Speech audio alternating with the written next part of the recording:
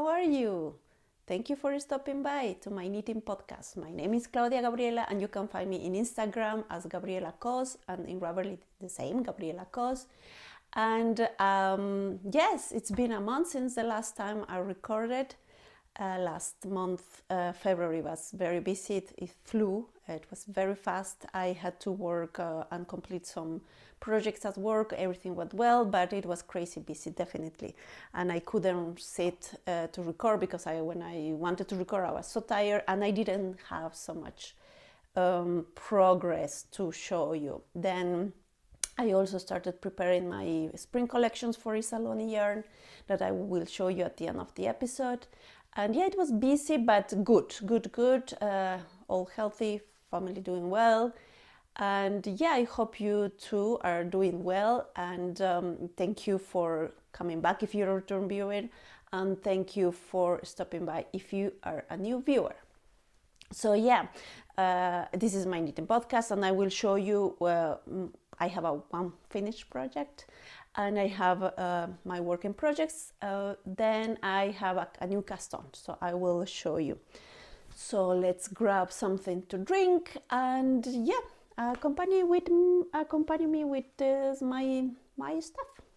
So uh, what I wanted first, first finish project. So you remember last time in my episode I mentioned that I was participating in a test knit and this was for Salt and Stone Knits in Instagram, and she was uh, preparing the release of her new sock design. So there, here they are. So these are the Heerlen socks, and you can find them in Ravelry already. I will put the, the links below. So here they are. So these are uh, ankle socks, and uh, um, these are my sock blockers that I got long time ago. Those are from Crazy Monkey. I don't know if you can see the details. Yeah, but these are my llama sock blockers. So here are the socks. Do you remember I was making them? I, I think I was at the at at not just halfway on one of the socks of the last episode and I managed to get on time and deliver all the details. What you usually do when you do a test knit, you have to, to tell them the gauge, then how much yarn did you use and um, all the details if you know the feedback if you participate in a test knit before that's what you usually do when you complete your socks. So i use my Marilyn base which is 100% corriedale in the clemente um, colorway. So here they are.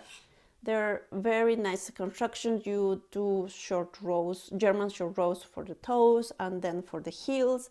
And then is mostly a stockinette, reverse stockinette and purls and see the stitch here. So they are finished. I love them. They're very comfy and uh, yeah, well, I when I try they are very comfy, but I, I haven't worn them yet. I wanted to show you because they are they are they are done and I'm so happy. So that's the only complete finished object that I have for today, but I have an if a half finished finished object, which is another pair of socks that I was making. This I, I think I showed you this in the first comeback episode that I recorded in January. And these are just plain vanilla socks, which uh, I am using a discontinued yarn that this was MCM that I was carrying before, but I don't um, carry any any base with nylon. So uh, making this was one of the last that uh, I got from one of the festivals and the, this colorway though I continue um, dyeing. It's purple light. And yeah this is done one unblocked. And I cast on the second pair. Here it is going along. I started this. I'm doing an online class and while I listening to the class I just crack on my needles and knit knit knit so I, think I started this yesterday and yeah, that's my progress on there. So yeah, that's the only thing that I finished for the last uh, month. Uh, as I said, was very busy, but I kept knitting anyhow. So I can quickly show you my work in progress. Well, this is one. That's the second uh, pair of this simple vanilla sock with short row, uh, short rows, German short rows uh, heel, and this is a simple, um, how do you say, uh, knit knit uh, SSK and um, what is the other? How do you say it? It's knit ah, knit two together and SSK. So that's the the toe and uh, yeah my work in progress as usual my blanket. I'm still working on my blanket. And i remember last episode i showed you that i ran out of the silk hair mohair that i was using. And uh, since it was a discontinued yarn and I ran out of that and from my stash, I didn't want to buy anything else. And I kept knitting with the Nutiden yarn color oats, but I didn't like it kind of and uh, I was missing the halo from the mohair. So I went to internet and start searching for this base if there was some place that I could get um, some leftovers or not. And I found a place, it's a small um, yarn shop in St. Gallen, here in one of the cantons in Switzerland. So I found two balls of this base and I got it. Of course, that that yarn was not the same lot of the ones that I had, but it, doesn't matter, it's okay, you cannot notice that much. But it was a bit orangey, more orangey than this one. So I was, so I had to rip, uh, rip off, so frog it, the part of the, the knit with knitting, and I think was 10 centimeters so, and this is 300 stitches, so it was a lot. So I frog it, that's why I kept these uh, stitches here, if you can see this. And then I start knitting with the new yarn that I got. But I ran out of that yarn as well because of course it was discontinued and the shop didn't have more. So I decided uh, to use another. And while I was looking uh, to get those uh, two balls of the discontinued yarn I found in the same shop um, another base from the brand that uh, um, which is Schulana, and I found, and it's this one. I don't know if you can see this one. So this one, it is also mohair, but it's 50% mohair, 50% merino. And um, it has these shades of oranges, brownish, and kind of not green, but beige, uh, but it could go well with the, the entire blanket. So I got four balls with the other two uh, because I wanted to try if it's it was good or not. And it I, I like how it looked, but four balls was not enough. It's because I, I have here the, the I bought 20 balls after that because this is a thicker yarn. This is the so said I don't think this this yarn still in business, but um, I got what the the yarn shop had and this is, um, as I mentioned, it is 50% uh, um, laine vierge, which Schurwolle in virgin wool in German, um, in English. So, and 50% mohair, and but this is kind of um, bulky yarn because they call for needle size 7 and 12 millimeters, and uh, it only has 50 meters, the ball. So, with four I get, I think I got here. So I said I, I need more. So I bought 20 more balls. So that's why I have this is one bag one bag one box and I have another one but but it needs very fast. And I am I am enjoying it's very soft it's softer than the the previous yarns that I was using. And I also ran out of I mean it's not that I ran out I still have but if I was using that Nutiden with this, I, you could not see, um, you couldn't feel the Nutiden anymore because since it's this is kind of a bulky, plus that it would be very chunky. And uh, yeah, I just uh, saved the rest of the Nutiden yarn to do or to make something else with this and I kept working with that. So I am this, I am still need to uh, keep going because the blanket now it's until here, but I want to cover my entire body and my husband, as I mentioned. So uh, I also changed the needle size because I was using a needle size 5 and this is 5.5 millimeters. Yeah, yeah, this is 5.5 millimeters. These are my signature needles. I love them. And it's flying, it's flying. I still need this while I'm watching TV and I cover myself. So I hope to finish really this before the, the warm uh, weather comes because I'm going to be sweating. So um, that's still, as you see, it grows heavily. Look at this. It is growing and it goes perfectly. This color goes perfectly with the rest. So I am happy. So keep working on my blanket. And don't forget that we have a knit along the, that lasts until the end of the year, which is make your blanket. So that is the progress that I have with my garter stitch blanket and then I also work a bit on my Portia shawl that is by Natasja Hornby and it is in the 10th issue of Laine magazine.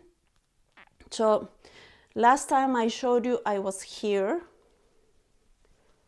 and this is a new progress keeper and I will show you tell you more about later. So I was here and I only worked this is not that much.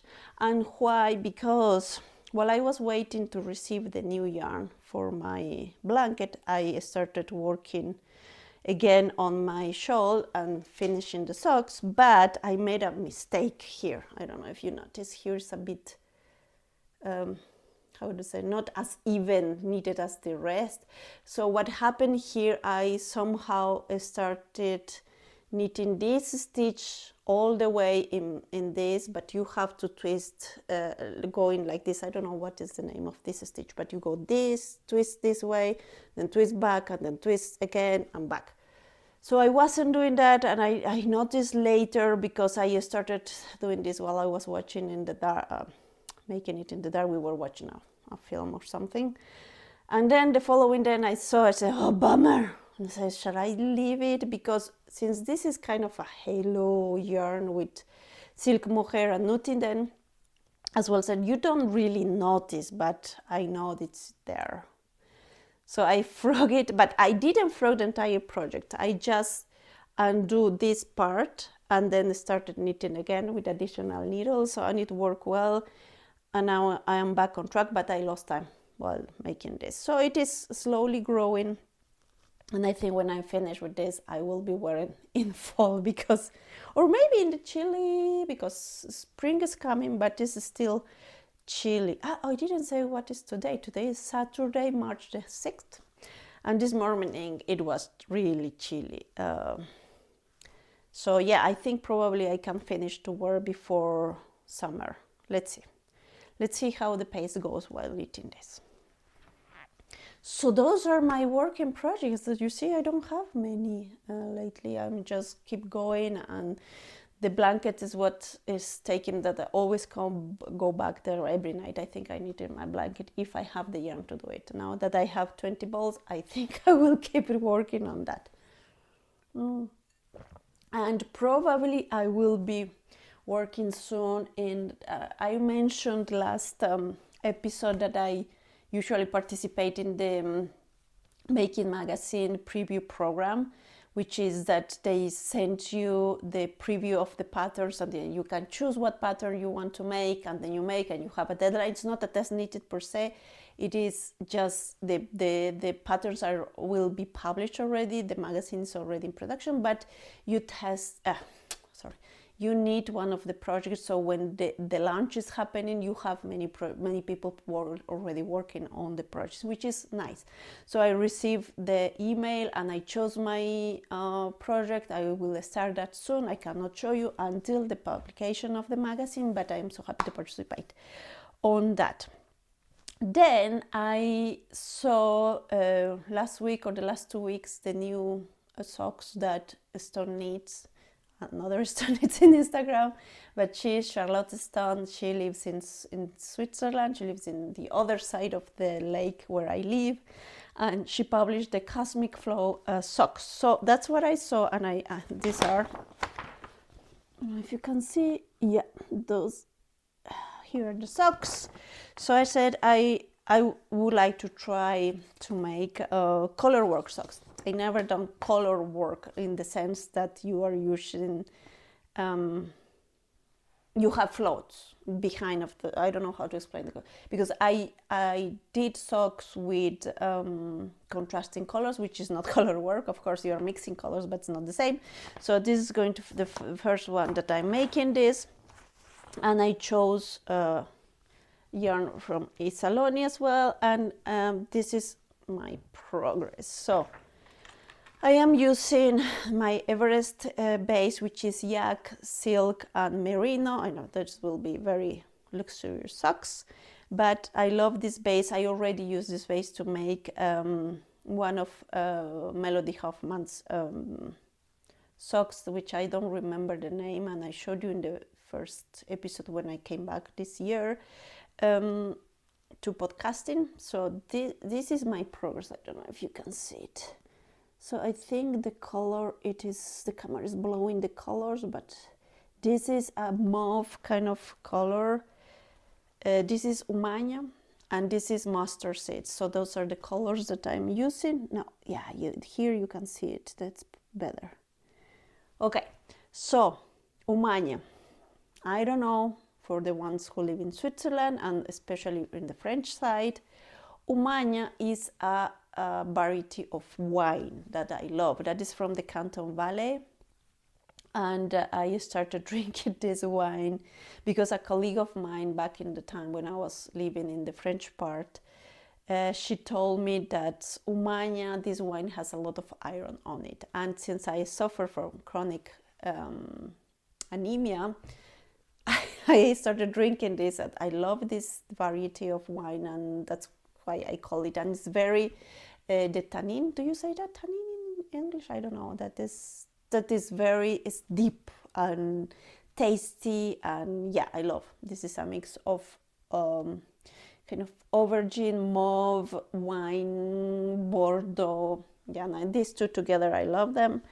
And yeah, that's my progress, and I'm using. And this is funny because when I started knitting and started crafting, and I was seeing all the stitch markers that the people had and the knitters, and say, "Oh, I don't have any stitch markers here in Switzerland," it was very difficult to find things. So I said, "I will make my own." So I went to Manor. Manor is kind of a big um, store department store where you can find anything. And there is a section where you can find things uh, they call it basteln which is to make uh, crafts. And i bought uh, swarovski crystals this one. And uh, i said i there's a section where you can buy stuff to make jewelry. So i got some um, cape cables. Yeah it's kind of cables to make uh, jewelry. And then i bought this i have a lot of those Swarovski crystals to make. And i made this um, this stitch marker. And since it's the color of the yarn i said why not? I will use it just to mark the beginning of the round. So this is my new uh, socks. So what i notice i am making kind of one socks a month which is which is something that i never done before, but with this finishing in February, then I finish my kind of Christmas socks in January, and this is the third socks which I started this week.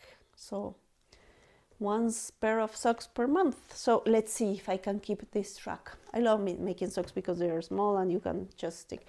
But as I love these are the type of socks that I love the most, vanilla, because you can make them very fast. Yeah.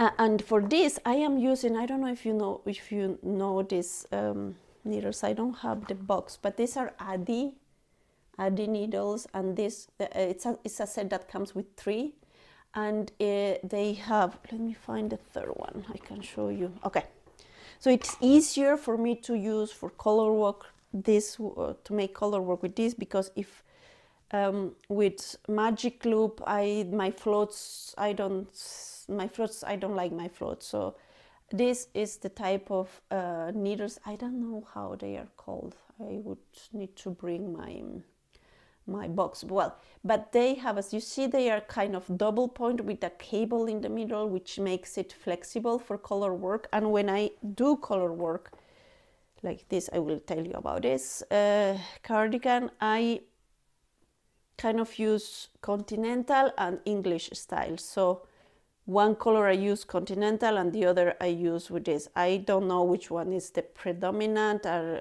because there's this technique that what is your predominant color uh, or something like that. So, which I don't know if this would be the predominant or this one, but depending on how many stitches, uh, for instance, if you have to make a float of six stitches, then I rather use the main color kind of with this uh, with in English style and the shorter uh, color or the other one you know like two stitches let's say I use continental because that this in this way the float I can make it longer and not very tight. I don't know if you need like this in color work but that's how it works for me and I try to, to find this. There's this tool which is in metal that you have kind of two loops to make color work so you it's easy for you to pick one or the other. But no, I'm just using my two fingers to, to do it because I found there's a place here in a, a web shop, but I don't want to buy something that I think costs seven francs plus seven francs of the, the shipping, it doesn't make sense. So once the, sh- the shops are open again, I will go and find it. Yeah. So these are my working projects. So it's going to be a short episode because I don't have many things to show you, but I can talk about what I am wearing. So uh, I am wearing the um, Spark cardigan by Andrea Mowry. So I made this last year during summer. Can you believe it? It was easy because you start with the, with the sleeves and then you start working in the body and you make it in the round. It was easy. I was in the terrace. It was not a issue, uh, big issue with the heat. It was okay. So, and it was my first time making color work. So I made first the, the, the sleeves and I noticed because since it was my first time making color work, so my tension was a bit tighter in sleeves.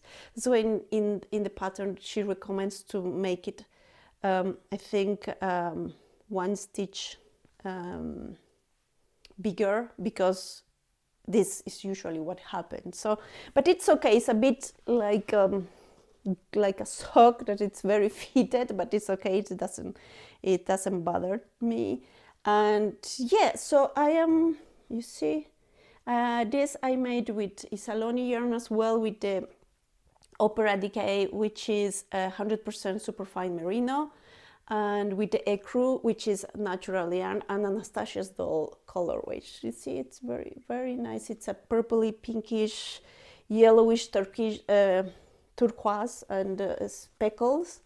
And uh, yeah it was this cardi unit in the run and then you steek. So it was also my first time steeking. So it was crazy. I think i recorded um, stories in instagram of my steeking.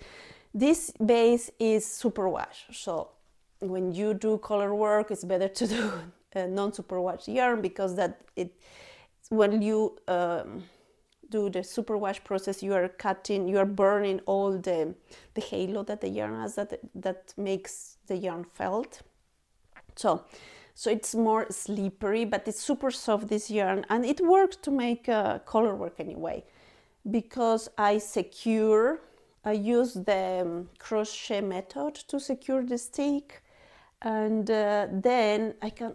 I made this longer than it's called for because the cardigan is called to make it to here to the waist, but I make it longer. Why? Because I forgot. I just kept knitting. I was so entertained making this stitch that when I realized, I think I did 10 centimeters longer or 15 centimeters longer, where I had to start preparing for this, um, um, decreasing the raglan decrease to attach the, the sleeves. So, well, the sleeves were already attached. So, yeah, I made it longer, but it's it's I'm using like a coat. I went this morning to do the groceries with my husband, and it was perfect. So I was wearing. Now I'm a bit warm and I will take this off but I wanted to show you so let me stand up to show you how long this is. So here it is you know it is cold until here but I made it really really really long which I like and it's nice and that's the pattern how it looks and you go it's meant to be here but I think it's I made it kind of 25 centimeters or even 30 centimeters longer and it looks nice. And you make as well this um, cord like a belt. Very interesting as well. This is in the natural. And I love it. It's very nice. Very cool. Cardi. So here it is. I can show you the the neck and the band. It is I'm looking this because here's my camera where I can see if I am showing you properly. So this is the spark cardi that I finished last year I think was in October November don't remember so it is it is very nice and comfy I think probably I will take it out in a bit. So let me grab some tea. Uh, this is my, I don't know if you know the Mother Bird Project. It is an association that you can make birds and uh, they send it to, I think mostly uh, to Africa for kids that they don't have access to toys. So you make really nice birds uh, and then you send with a tag and then they shipped everywhere it's really nice and i bought this in uh, i think it was the first or the second vogue knitting and i participated in new york so they had a stand so i bought a t-shirt and this um, mug which is very nice now i can quickly show you something that i got i show you my progress keeper and uh, you might know Ocean by the Sea. She has a, um, a web shop. She dyes yarn naturally, and she also makes stitch markers and progress keepers. So she had an update. It was two or three weeks ago, and I. What is fantastic about Ocean is that she makes everything from scratch, and she puts so much love and soul to whatever she does. And I remember I bought yarn from her last Edinburgh festival that it was in 2019.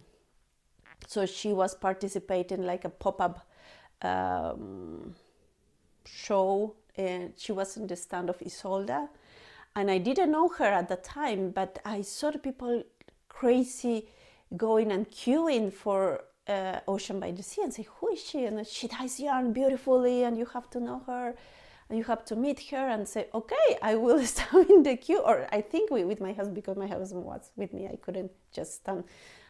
He was very patient, accompanying me everywhere. So I said, let's see, I will, I, I, I guess I quickly went into Instagram to see what she does and say, okay, but it seems that she, she makes really nice stuff. So once the queue was gone, and I said, I will buy the left, whatever whatever is left. So there were some skeins, and I bought this beautiful skein, beautifully dyed, and she is fantastic. So I follow her on Instagram. I follow what she, whatever she, she she posts everything in her stories. She is a poet as well, so she's wonderful. So when I saw she was making this stitch markers and progress keepers, I said I have to get them because not only the love of what she puts whatever whatever she, she makes but also because these are crystals and semi-precious and I'm i love uh, everything related to crystals and protections and light and um, yeah. So here they are. These are the progress keepers that i got plus the one that you saw in my in my shawl. So here you have a sort of um, amber, uh, uh, moonstone, which is selenite. Then you have all sorts of. Uh, she also puts some beads, and uh, yeah, I don't know the name of all these stones, but I know some of them they have a property to protection of your energy field, and yeah, that's why the selenite for me it's it's very important. So I got them and said, oh, while I'm knitting, I will have another protection. With the stones and she makes as well this paper. She painted every single small square where she puts all the all the stitch markers and progress which i find it's fantastic. And here it is the progress keeper uh, those uh, these are the stitch markers. Got them. You see all the precious stones that she makes. And then of course this as well. And i saw because she shows the progress of whatever she does in, in, her stories and which is fantastic. And she also sent this little cloth which is to clean because this is our silver sterling silver and then sometimes they get uh, dark then you can clean them which is fantastic. And yeah i'm really in love with this because of you can feel the love put in this um, products and yes support small businesses as always. Yeah so that's what i wanted to show you that i acquire. And I also wanted to show you because I was organizing my stitch markers because I had stitch markers everywhere. In every single uh, project pad that I have I put stitch markers because you always use them. Or if I don't have I use just a scrap yarn um, but I organize everything in this. This is a small bag that I bought in, in Bolivia when I was visiting my mom and here they are the cholitas, you see? These are the typical, the women, how they dress over there, not everywhere in Bolivia, because depending on where you go, you have cholitas, you have people, and the cholitas, they dress different from region to region. Sometimes they have shorter polleras, what they call that, there's the skirts, uh, which we call pollera. Sometimes they are shorter, the different colors, sometimes they are longer from where I come from. They, they wear longer polleras and heavier because they used under I don't know how it's called. It's under the skirts. They use kind of something to make it kind of poof. Uh, I don't know what's the name of that. I need to find. But yeah, those are the cholitas, and these cholitas, to me, they seem to be cholitas from Cochabamba, which is a different region, because you can recognize the cholitas not only with by the skirt but also by the hats. They use different hats in Chuquisaca, for instance, another region, they use the hat is a bit uh, taller, and in La Paz smaller. They call it borsalino. I don't know if you know that type of uh, hats. And then in Cochabamba, they're a middle. And in the valley, because those regions are the valley, which is warmer, the hats are white. In La Paz, which is colder, the, white, the hats are black because that attracts the heat or not. One day I will tell you that. So I bought this one because of the cholitas, and this is a bag that you can make like this and close. You can, I suppose, put some jewelry here because they have, I don't know if you can, they have a small, um, if I, ah, here, small pouches in all of the, over the the bag and I put in each pouch my stitch markers. So I have one, two, three, four, five, six, seven, eight pouches with my stitch markers, different stitch markers. And then in the middle, I put the stitch markers that I, these are kind of progress keepers that I got at the beginning where only plastic was available and this I could buy from Manor or anywhere. Then I got this uh, like a felted ones. Um, here I keep, this is my Betty Boop, I think I'd, uh, old colleague of mine went to States and brought some mints and here I kept because I keep this kind of tin uh, cans to put stitch markers. And here I have this stitch markers that I made with, um, I had a class long time ago that I took with Mel from, um, I don't know what is her podcast, podcast anymore, but she used to live in Hawaii, then now she lives in Alaska. And she did a class with different crafters and different sessions and one of them was making um, jewelry with paper. And i made this stitch marker.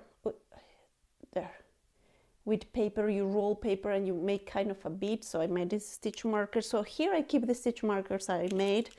I also i have this um, Swarovski more Swarovski that i made. And these ones uh, it was the Judy from the Giggling Gecko yarns that gifted me in that was in the first Swiss Yarn Festival that was in Zug. We were at the uh, in the boat. There was a trip in the boat, and she was she she had these stitch markers and she gave me these ones. That was long time ago.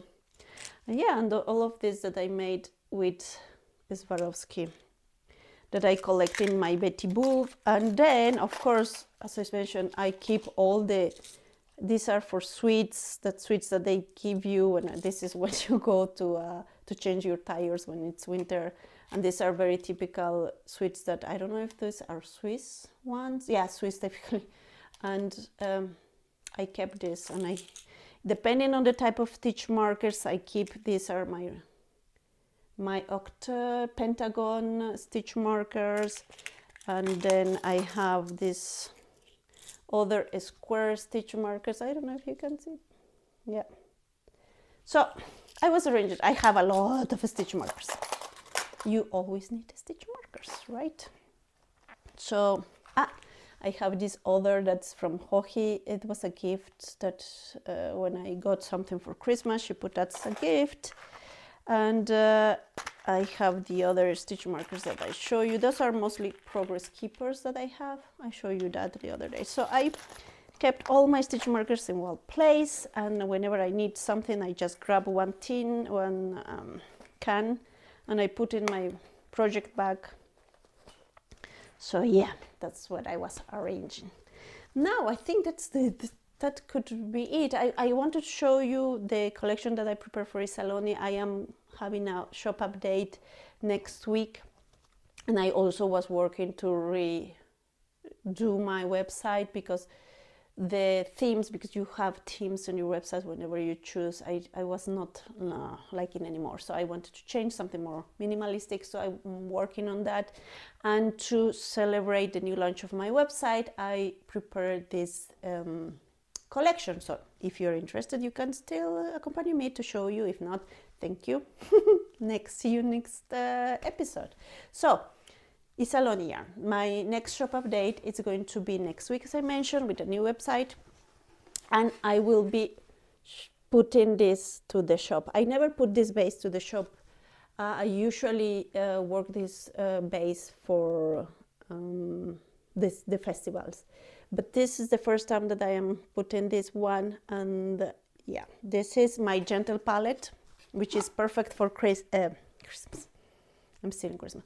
It's perfect for a spring because uh, the colors, the tonalities are um, uh, very soft.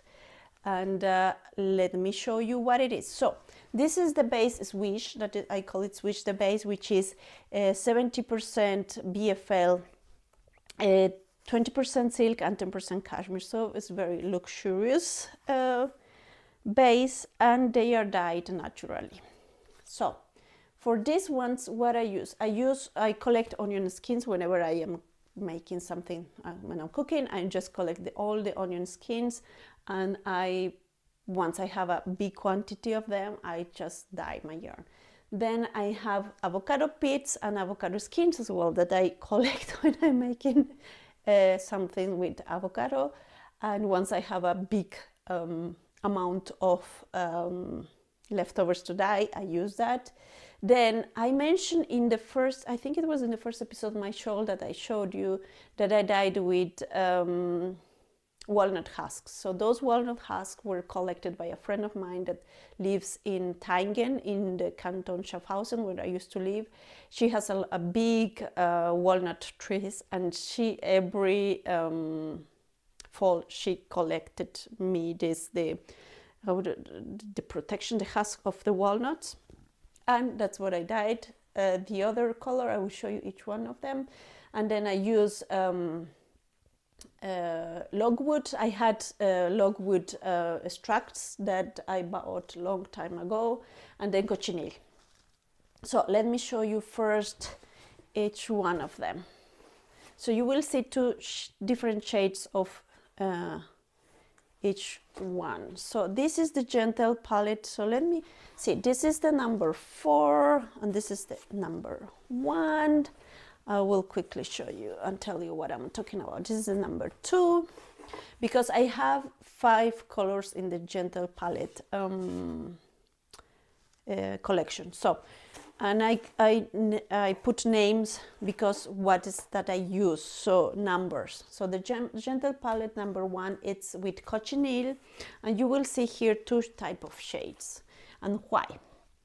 This is the first batch of the dye, and I always dye uh, to exhaust the dye. I mean, with the natural, it's more complicated than the acid dyes. The acid dye just takes very fast. And when I still have leftovers of the natural dye, I will dye a second batch, which is a softer version of the first. So this is the first batch of the Gentle palette, which is dyed with cochineal and then this is this the gentle palette one soft which i call because this is more saturated right? So this these are the two. You see it's different of course shades because not everybody likes this hot pink which i really find it beautiful and this is more softer pink so this is the gentle palette number one the gentle palette number two is the logwood. So it is also the same. Uh, the first uh, batch of logwood is very saturated. Here's like purplish. And this is kind of a lavender. Um, yeah, more, well, this would be lavender and this is lilac.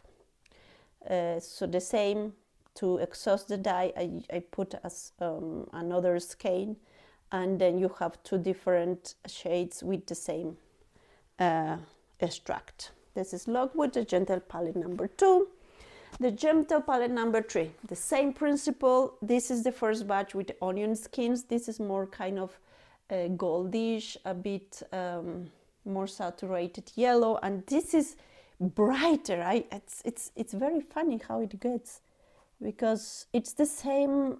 Yeah, it, I would, I could do kind of a, um, ombre uh, collection because depending of the batch of the the yarn will be brighter or lighter sorry.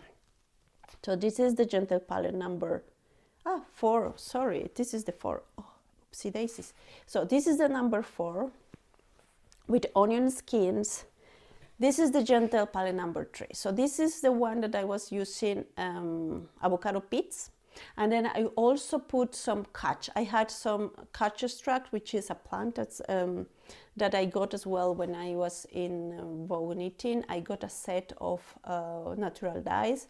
So this is the avocado pits and cutch.